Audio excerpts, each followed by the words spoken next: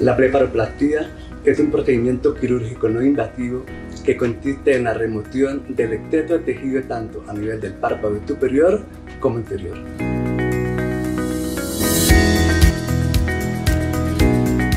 La blefaroplastia está indicada en aquellos pacientes que tengan párpado caído o patologías oculares como tantelasma, pestones o hipertrofia ocular. Estos tres tipos de patología nos van a indicar que usted es un candidato ideal para el tema de blefaroplastia. Generalmente la blefaroplastia por párpado caído se realizan aquellos pacientes de mayor edad, después de los 50 años, cuando se produce de manera fisiológica la pérdida de tejido, de colágeno y elastina a nivel de la piel, lo que nos produce platidez tanto en el párpado superior como en el inferior. Cuando no está indicado este tratamiento en aquellos pacientes que más bien tienen el exceso de tejido de tal forma que produce una bolsa o produce más bien una ojera hundida. En este caso no tenemos que quitar el exceso de tejido, tenemos que rellenar con otros tratamientos como ácido hialurónico, enzimas perioculares, entre otros.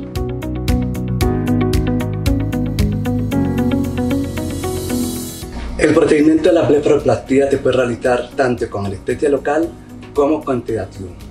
Esto también va a variar en el tiempo de la duración del procedimiento.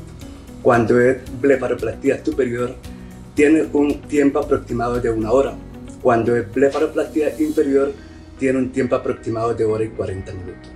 Y esto también va a ir de acuerdo al tipo de anestesia que vamos a aplicar. Cuando es anestesia local, el procedimiento es mucho más rápido y la recuperación también. Cuando es sedación, tenemos que esperar que el paciente despierte y pueda reincorporarse propio a sus actividades cotidianas.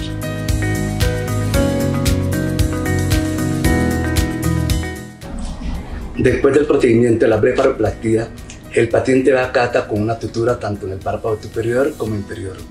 Durante estos 10 días que viene a consulta de nuevo para retirar los tumores.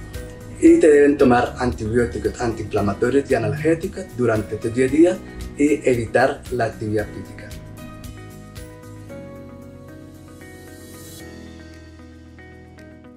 te me ocupan 72 horas para volver a tu vida cotidiana normal, al trabajo, a lo que sea. Es importante siempre mantenerte en reposo durante las 72 horas y vamos a empezar a ver progresivamente el resultado hasta alcanzar el mes y el mejor resultado hasta los 3 meses.